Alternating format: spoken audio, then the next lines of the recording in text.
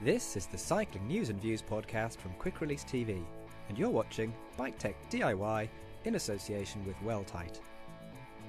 This episode is about washing your bike. It'll perform better if you keep it in good condition. And that means keeping it lubricated too. Using bike specific brushes, wash fluid, and lubes is an investment extending the life of your components, improving your ride experience. Why wash? Road muck creates an effective grinding paste that can chew your chain and degrade your gears. Professional cyclists have mechanics to wash their bikes after every race. The mechanics do a thorough job, and so should you. You can clean your bike with a sponge, an old toothbrush, and washing up liquid but you'll get better results with bike-specific brushes and grime-busting bike wash fluids. Spray liberally and leave for a minute for the solvents to do their magic. This is a bike-specific brush from a bike brush set. It's a general-purpose brush, useful for agitating the wash fluid on frames, wheel rims and hard-to-reach nooks and crannies. Poke around to dislodge as much gunk as possible.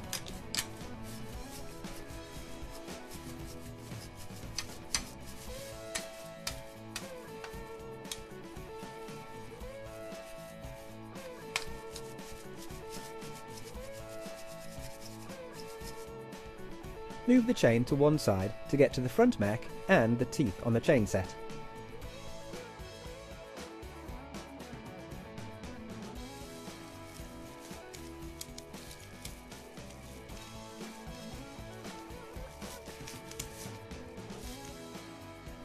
This is a specialist chain and sprocket brush, thin for getting into the sprocket gaps and ridding the rear block of dirt. A standard 57 link chain has 10 parts per link. That's 570 parts per chain, more parts than the whole of the rest of the bike put together. A modern bushingless chain has 8 parts per link, but that's still a lot of links to keep clean, and they all need tender loving care. For the next job, it's best to clamp the bike into a repair stand. This clever contraption is a chain cleaning machine. When you run the chain through the device, internal brushes clean all parts of the chain with the minimum of mess. Use special chain degreasing fluid for best results.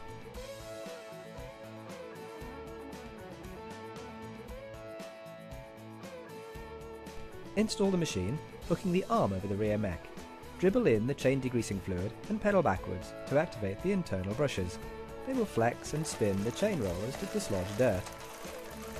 Gunge goes into the reservoir. Just look at all that dirt now in the solvent and off your chain. You've applied wash fluid to the bike and cleaned the chain. Now rinse off with water. Use a garden hose, not a power washer, or you risk forcing water into bearings, even sealed units.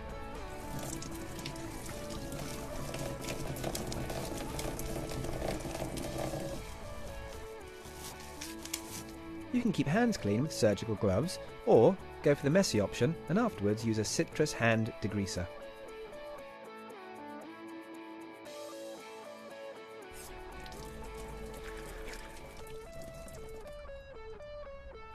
With your pinkies pink again, it's time for some lubing. There are lots of different lube types to choose from. This is a traditional mineral cycle oil, good for bikes with 3-speed gears, and perfect for squeaking doors too. This is a light, Teflon-based spray lube that penetrates well, disperses water, and evaporates to leave a dry finish. Some cyclists wax their chains, a laborious and messy job. This wax lube does a similar job, but it's a lot easier to apply. It repels dirt and is water resistant.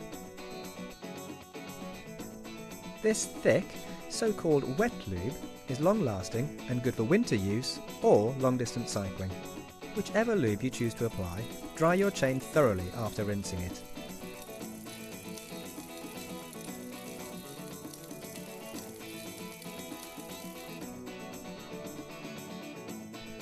Lube sparingly, don't go mad.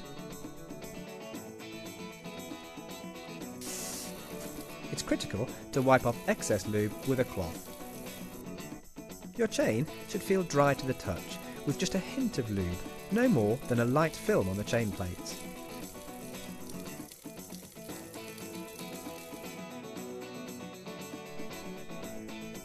Dribble lube into those places on your bike where metal rubs against metal, such as here on the rear mech. Work in the lube by operating the mech with your hands.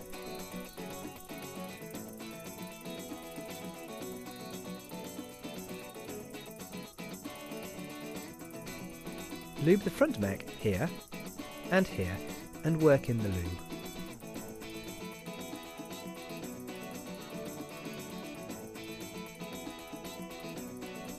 The same rule applies to the brakes. Lube any exposed springs.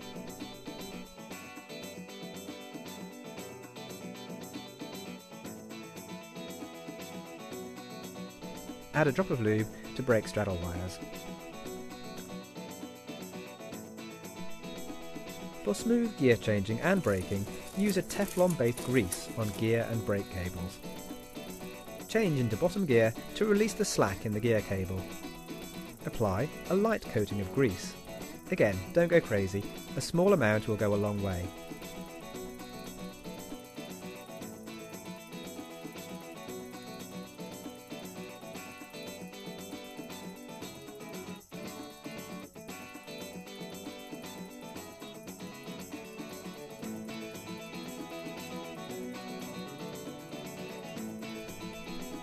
Replace the cable outer.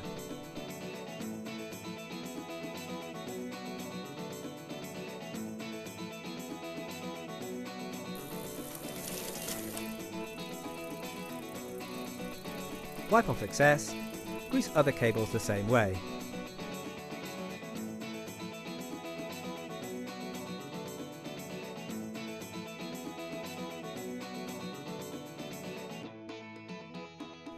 A clean, well-maintained bike is a pleasure to ride.